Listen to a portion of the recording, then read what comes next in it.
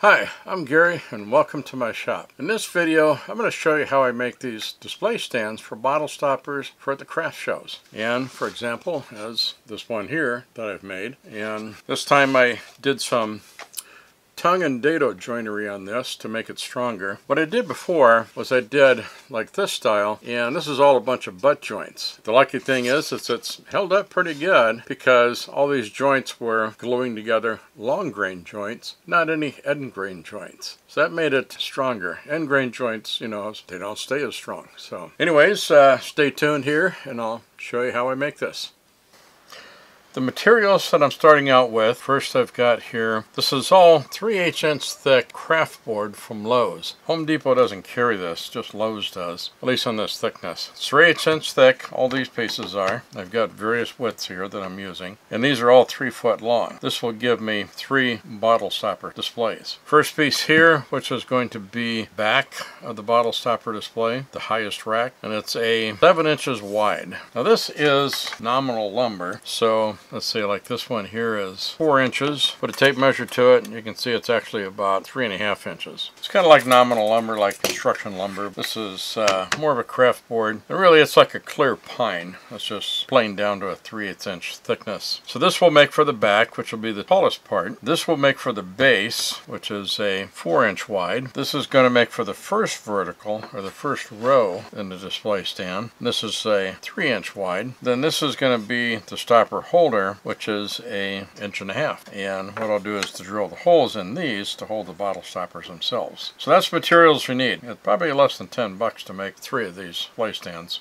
So I have a couple of boards that I need to trim down the width of to make this. First one I'm going to trim down is the back board, be the tallest support for the bottle stopper holders. Trimming that down to four and a quarter inch wide. I've got the blade height set, so it's just above my board here. I'm to trim this down to four and a quarter inch wide.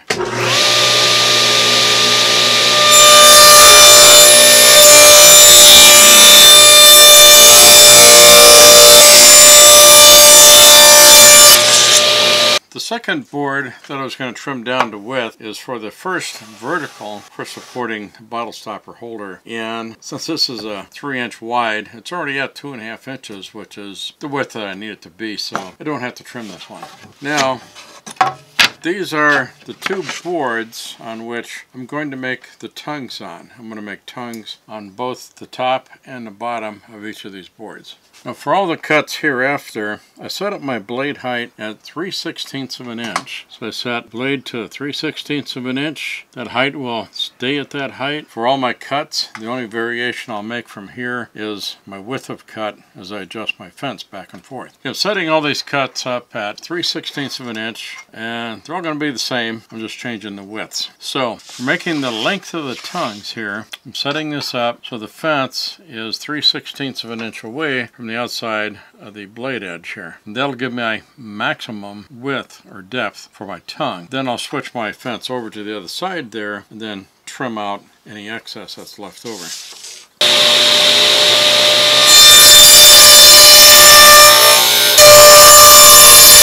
Flip it end for end and do the other side.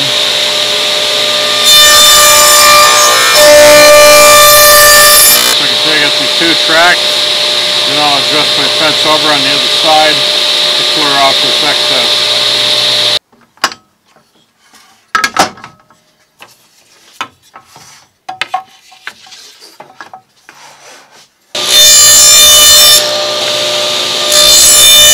Alright, so these are the two vertical parts that are going to hold the parallel racks that bottle stoppers will sit into the holes inside of. Now my next step is going to be cutting the dados in the other boards that are going to attach to those vertical boards. This one's going to be for where I'll put the holes in this for holding the bottle stoppers.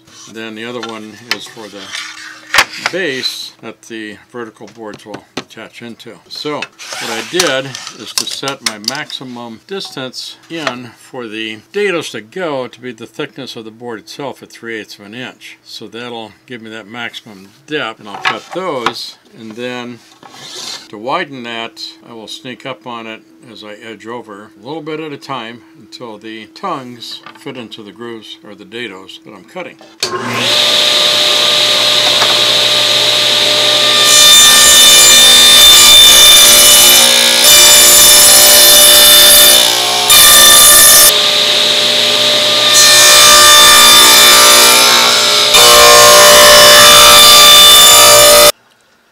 This being the base for the stand, after I get these dados cut, I'm going to come back again, cut another one down the middle here for the lower support to go into. Okay, so I moved my fence over slightly and I'm going to run these through again and I'll keep adjusting that until the tongues of these boards fit into the groove for the dado perfectly.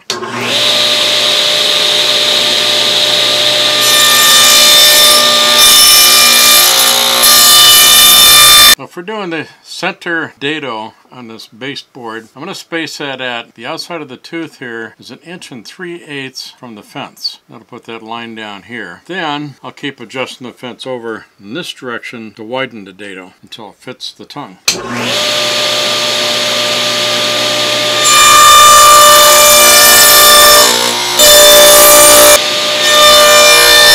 There I have a good fit with that one. Now I've got all these boards cut up with all the tongues and dados cut into them. Now I'm going to cut them into 12 inch sections. I got three feet here. I'm going to cut them into 12 inch lengths. So I stacked them all up here. Got everything back against the fence here. Got these all even on the edges. So they're all good and square. Then I'm going to hold on to this, pass it through the saw.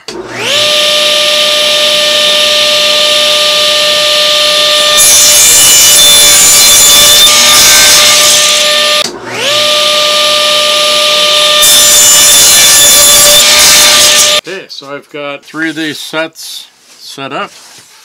I can start making the holes for the bottle stoppers to set into and assemble them and I'll have enough for like 36 bottle stoppers with these three. Okay, so for these top parts that the bottle stoppers are going to fit into, there are these upper rails or tracks. I'm going to drill holes in these for the bottle stoppers to sit into. This is a 12 inch piece. I marked a center line along the length of the board. Then the holes start out at one inch in from the edge. Then from each center is two inches. That gives me a total of six stoppers that I can put on each one of these boards. Okay, so for each of these holes, I'm going to drill a 3 quarter inch Forstner bit hole through through it.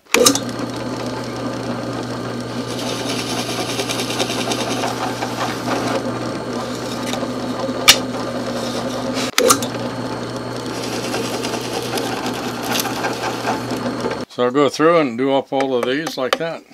The next step is going to be rounding over the top edges on all of these and inside the holes. Bottom sides I won't need to do, I'll just do these top edges. And the base, I'll round over this top edge because this is where the vertical boards are going to go in for holding these. The vertical boards themselves don't need to be rounded over at all. So it's just doing this and I'll be doing all of these in this manner. So I'm rounding over the correct side.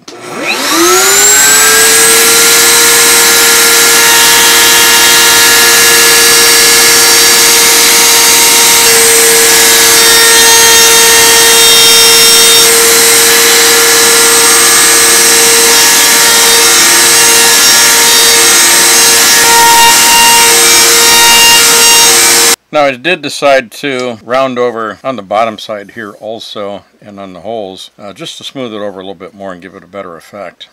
You know for assembling these parts so the backboard will go on like this into that tongue and dado slot. This one will go on to that slot. And this rail will go up here for all the stoppers once you get it all glued together this whole hold together better. So those will go together like that, get it all glued up, and then it'll be a lot more stable, and it will hold the uh, bottle stoppers. Uh, each of these racks will hold 12 stoppers. Here I'm gluing these racks together, putting in the long back here. I've got a square up against it to hold it straight because these do move a little bit. This one fit fairly snug and stays straight. Then I'll put on these racks for holding the bottle stoppers once these are set. Now these I'm gluing up here. This one stays pretty straight. This one needs a little helps and support to make it straight. And then I'll be putting the back pieces on on these and then of course the rail pieces here. Alright, so I've got these all glued up and assembled together and I spray varnished them with some clear aerosol lacquer from Minwax. Gives them a great protective coating and it'll look good for the shows.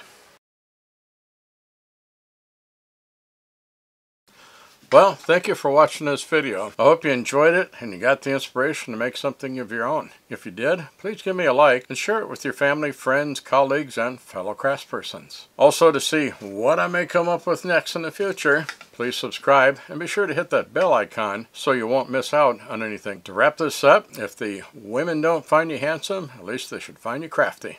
Thank you.